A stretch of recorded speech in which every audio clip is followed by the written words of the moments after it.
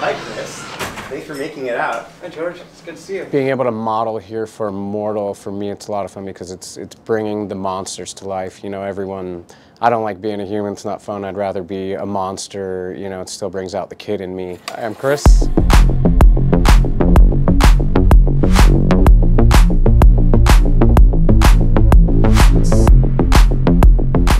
I'm uh, one of the fortunate guys to get to model uh, majority of the masks here at Immortal Masks for the last few years. Get to try on everything new and see all the newest techniques that are being used and uh, effects and everything. Get to be the, one of the first people not only to wear it but to see it too. So pretty fortunate with that. I don't have a bad job. It's a good gig. The First thing we're going to be shooting is, is this, the red dragon.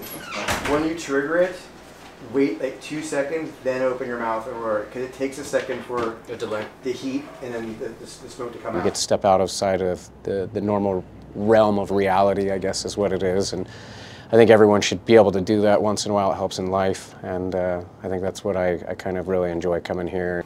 Um, we'll try a practice run with it. Dude, we should all the li- all the, George. You know how we have a line of things that uh, smoke and have fog.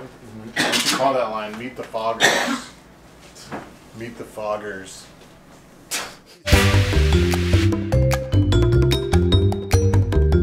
Meet the Foggers. We don't have one with big fucking hair. Andrew, do you want to come and check it for um, like movements like that right now? The team here is incredible. Everyone's uh, real lighthearted, great sense of humor. Let's see. Look at the camera and open that mouth and say. So where is Look at me, I'm an angry dragon. The, the quality of the masks here at Immortal um, and the detail and everything, it just makes it that much easier. And uh, you put the right person in the mask and it just brings it to life. Action.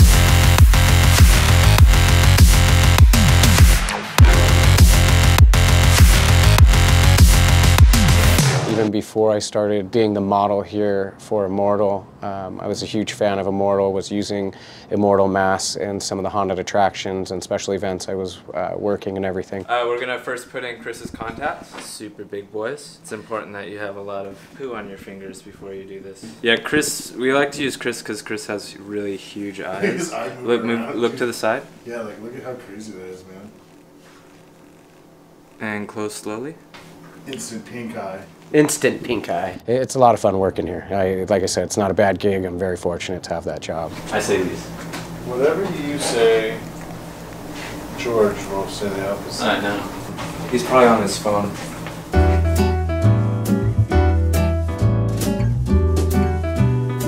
They all are very dedicated to what they do um, and take it very seriously. Not uh, trying to toot my own horn, but it's, it's fun. Ah, I'll hold you to that.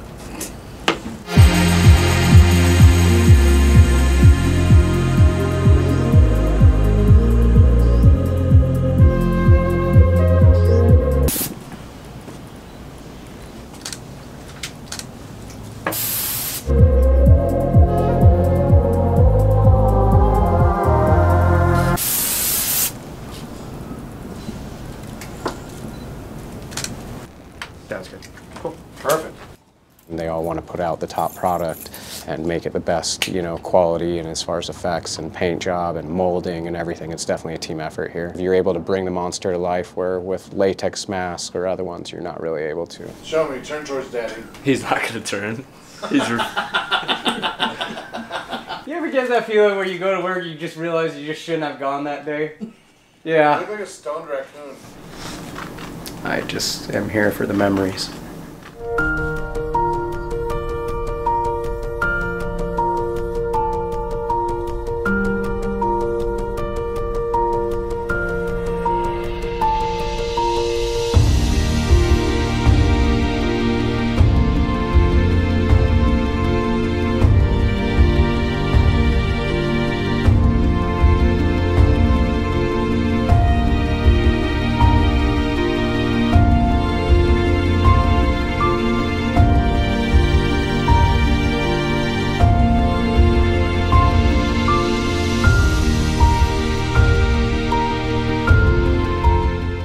Like I said, it's not a bad gig. I'm very fortunate to have that job.